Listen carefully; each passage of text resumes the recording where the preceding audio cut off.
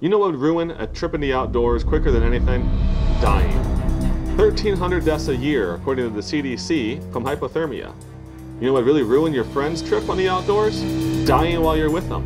So let's talk about layering, how to be comfortable, how to make the most of the gear you choose, and hopefully how to prevent death. Welcome to Adventure Widely. Today I want to talk about how to make the most of your layering system, how to be comfortable and safe when you're outdoors doing it.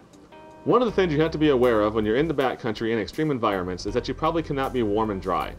The problem with trying to keep yourself warm is you are always borderline sweating. Sweating is the quickest way to bring on hypothermia and also just make your trip uncomfortable. What you want to try to do is stay cool and dry.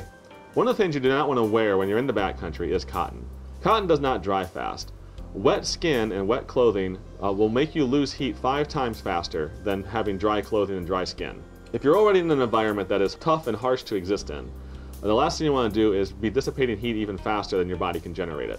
Cotton gets wet and stays wet, and you want to try to avoid bringing that into the backcountry with you. The only time I ever pack cotton with me is if I have to clean glass. Um, I'm on a YouTube set right now. There's a good chance I'm carrying a camera with me into the backcountry, so I will carry a cotton bandana to clean off that glass, and that's the only thing that caught in my kit. Other than that, I'm either wearing wool or one of the modern synthetics that we have available. The modern synthetics that we have now are, are very good materials. Uh, most of them are designed to wick away moisture, and it all starts at the base layer closest to your skin. Those base layers are designed to pull the moisture and sweat from your body and bring it to the surface where it can actually evaporate. So let's jump right in and talk about some of the layers that we have and how best to choose the layers that you're going to use because if we're out in the backcountry, especially if we're backpacking or we're going to be out for extended days, and you, you want to make sure that the gear that you have with you is optimal over a wide range of temperatures. A lot of that's going to come down to venting. Venting is very critical to be able to stay comfortable and dry when you're in the backcountry. So let's talk about the base layers first. There are two options that you have, wool or synthetic. Do not wear cotton underwear, do not wear cotton base layers. A lot of the old waffle grid pattern white long johns that you might see at the grocery stores for sale are typically a cotton or a cotton blend. Those are very bad to uh, pull moisture away from you and actually dry out. Don't buy those. Instead, the two options you do have wool or synthetic, and there's, there's a plus and minus for both of those. Wool is typically a little bit heavier than synthetics. Wool also, in my opinion, is not quite as warm as some of the synthetics now that are available. But the benefit to wool is that wool, if you're out for the backcountry for multiple days, does not breed bacteria on the surface. Synthetics, for some reason, bacteria loves to grow on them. So if you're going to be out for multiple days wearing the same base layer day after day, uh, synthetics sometimes can start to smell. So if you're by yourself, maybe not a problem. But if you have uh, climbing partners with you or backpacking partners with you, try to avoid that. So the first layer I have here is wool underwear. It's warm, it's uh, antimicrobial, and it also will pull the moisture away from the skin and help you stay dry.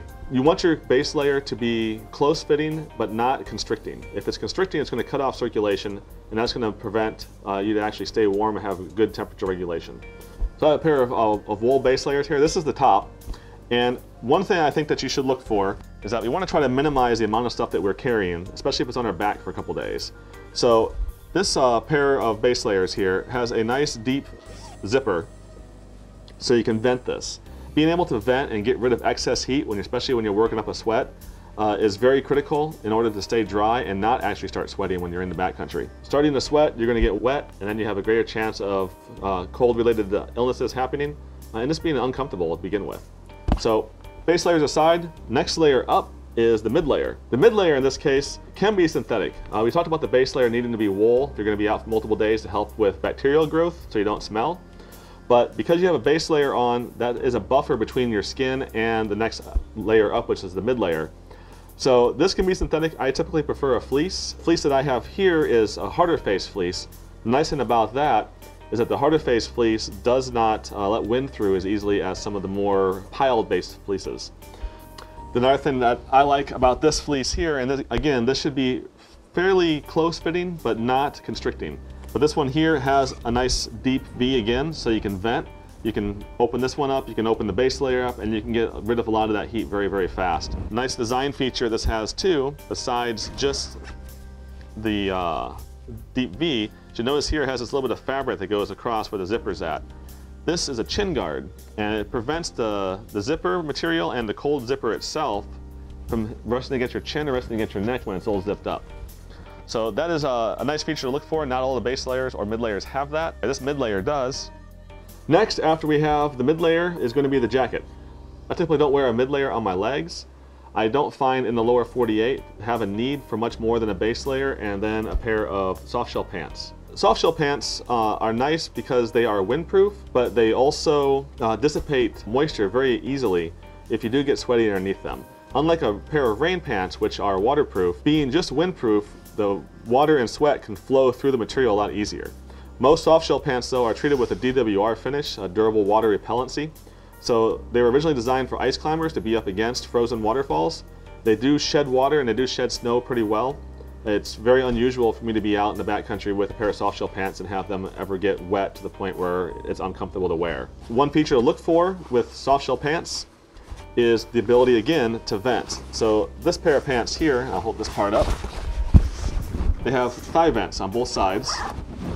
So you can open up the thigh vent and let in a lot of cool air and get rid of a lot of heat. I've been in North Cascades before hiking up a mountain and with the soft shell pants fully vented and just the base layer on top, uh, I was comfortable. As soon as you stop, you want to start throwing layers on though because that's a little chilly if you're not having uh, heat generation from the output uh, and exertion that you're doing to go up the mountain. But having the ability to vent your thighs as you notice, there's a, there's a common theme here in most of the gear. It's ability to vent because you will generate heat if you are carrying a pack, if you're trudging through snow, if you're snowshoeing, if you're climbing. There's a lot of heat generation that goes on in these activities. We need to be able to get rid of that heat um, so we can be comfortable and not have to carry a lot of different layers with us. So soft shell pants aside, we go on to the jacket. This jacket here, one of my favorite features of this guy is the fact that it has very deep pit zips. So again, we're trying to maximize our layering system here, and we're trying to look for things that are very versatile. So in regards to this, you can see here we have pit zips. So we can get rid of heat, still keep the jacket on. Now this is a soft shell again, so it's not going to be waterproof, but it's going to shed snow and it's going to shed wind and keep the wind off you as well. So key features on this, I don't like elastic cuffs. I really like Velcro because you can adjust how tight it is around the wrist. This is another spot right here to, to trap in heat. You can vent oh, with the pit zips. You can vent by unzipping the jacket itself. A lot of these jackets too, if you open up the pocket, the pocket goes right in to a fabric material on the inside. So the pocket also acts as a vent. And then the better jackets, as you'll notice here, there's a elastic cord, and that cord is reachable inside the pocket. So that is a drawstring. So you can draw the bottom of the hem tight to the body. So you can really seal this jacket up pretty well, keep a lot of the heat in, and then as you get warm, start opening up uh, sleeves, open up pockets, open up the pit zips, open up the front of the jacket, and really get rid of that excess heat as well so you don't start to sweat. One thing to talk about too is that a trend lately has been to put hoods on almost everything. Uh, we have base layers with hoods, mid layers with hoods, soft shells with hoods, and then puffy coats with hoods. The problem is if you have all this and you have all these hoods, you either have a bunch of bulk back here, so you look like the hunchback of Notre Dame, and nothing wants to fit right, or you put all these hoods up, and then you have a problem getting a helmet on um, if you're climbing, or you just have a problem with constriction because you have all this material up here. It gets really tight around the neck, having all this material come up around you as well for the hoods. I don't like all those hoods on things. I really prefer a hat. It gives you a lot more flexibility and movement to your head. You don't have peripheral blocking. And if it is really cold, the only thing that really should have a hood on it is your big puffy coat that you might have to pull out. Otherwise though, I think a hat, especially a thin hat, is probably one of the better things to go with. This is a windstopper hat. As you notice, most of the gear here is all windstopper material or a windproof material, but not waterproof. Again, that is also to help get rid of excess moisture. If you have uh, rain gear, hard shell gear, uh, it will trap all that moisture in there. But having uh, windstopper material, it helps get rid of that sweat a lot faster. So with this hat, and one of my favorite pieces of gear is this buff. Now, if you don't know what a buff is, uh, go buy one and you'll love this thing. It is a cylindrical tube, a fabric, no seams on it. And then it is very versatile. It is stretchy. They have numerous versions now. This is one of the originals, but they have ones that are made with wool. They have uh, ones that are windproof.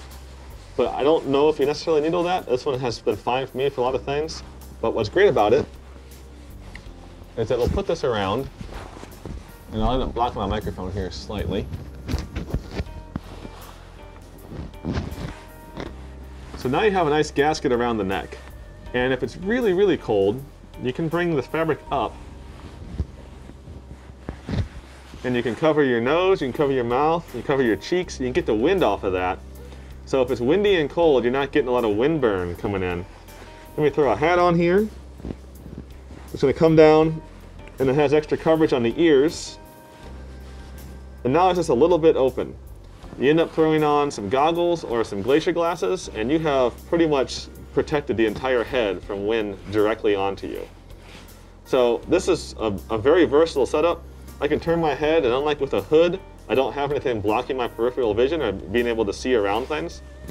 So I prefer this method far more than having a hood, especially with hoods on base layers or hoods on mid layers and stuff like that as well, because that just this, this gets in the way of actually trying to see, and especially if you're climbing.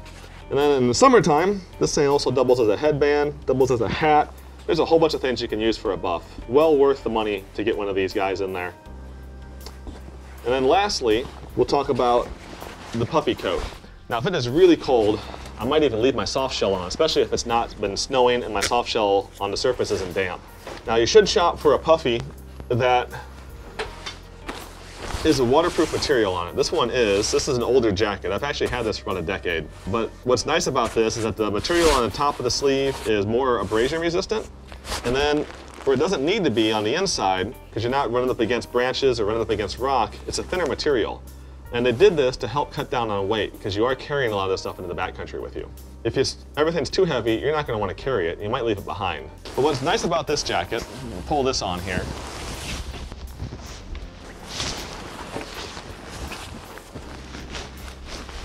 is again, I have the ability with Velcro to cinch this up, make this tight so I keep the air out.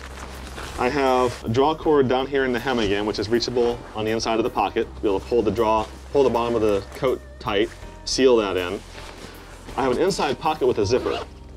Now this side, this pocket is shaped funny. It's shaped for either ski goggles or it also fits a one liter Nalgene bottle. If you are in very, very cold weather, being able to stick a Nalgene bottle in here and keep it close to your body heat to prevent it from freezing is actually very important. On an ice climbing trip last year, it was negative 11 out during the day for the high, and in my backpack, uh, a three quarter full Nalgene bottle froze. And that was with hiking out to the climb. Most moving water doesn't freeze, but it was so cold that even with that bottle sloshing around in the back of my backpack, the water still froze. Keeping it in here, it won't freeze if you have this coat on and against your body.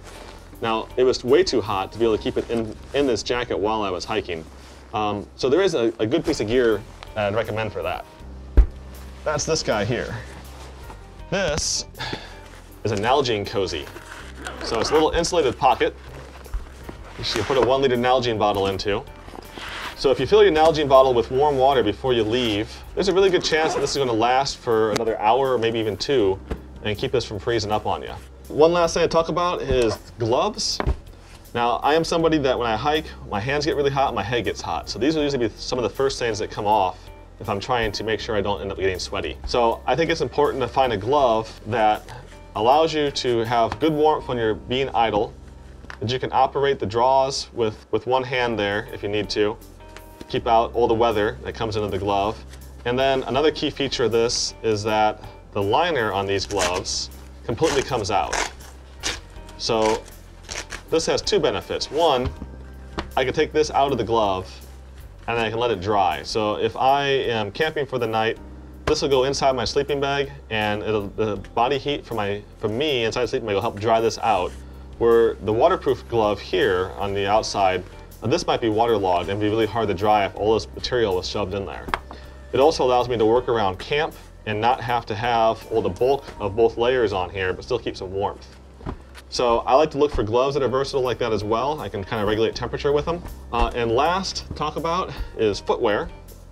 Now I'm only going to talk about socks on this. Boot fit is very important um, and it's individual for everybody. So there's lots of great boot manufacturers out there, but find the boot that fits you because everyone's shape of the boot is slightly different and everyone's feet slightly different. So what fits me and the brands that I like might not fit you at all. But the one thing that is true is that you want a good quality pair of socks and you want to make sure that your boot is not too tight. Again, if you make the boot too tight and you constrict, you put double double triple pairs of socks in there, hoping that'll be warmer. You put too much pressure on your body, and you're not going to get good blood flow. Bad blood flow is going to uh, equal cold feet, and if you are in extreme environments, that could also lead to frostbite. So I'm going to try to avoid having shoes too tight, try to avoid having pretty much everything too tight, but having it snug so you don't have to heat up all that dead airspace is very beneficial to being out there in the cold. So that's how I like to layer. I try to make sure that everything I have can be vented somehow. Deep V's on the tops, vents on the thighs for my pants, pit zips for my jacket, and having the ability to, to change radically how well that garment protects me to how well it is vented allows me to only carry a few things and make those things very versatile over a huge temperature range. If you like this content, please subscribe to the channel. Let me know in the comments below what you'd like to see next. And if you have any questions at all, uh, please leave those down there too. Thanks again and adventure widely.